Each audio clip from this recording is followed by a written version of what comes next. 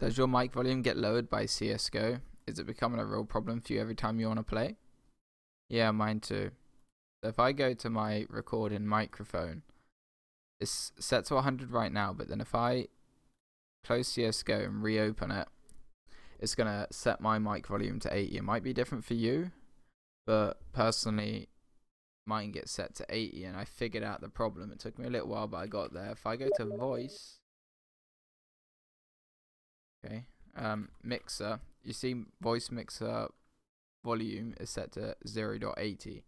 Now that's what's lowering my microphone. I don't know why I've uh, stopped things like stopped allowing things to change my mic volume, but it's not fixing it. But I figured out the problem. So if I set voice, the voice mixer volume to one, that doesn't fix it for me. See, I've set it to one, so let me restart the game.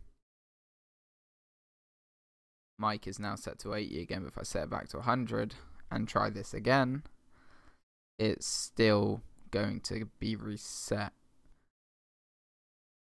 Voice mixer is set back to 80. So the only reason that that wouldn't stay changed is because of an auto config.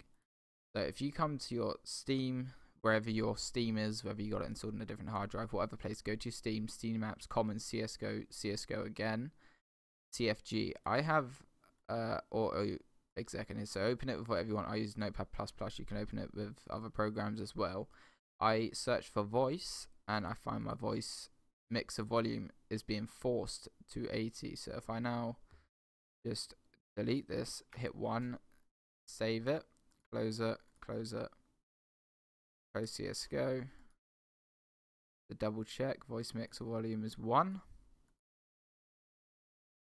Check my mic. Properties, list uh, levels 100. Open CSGO.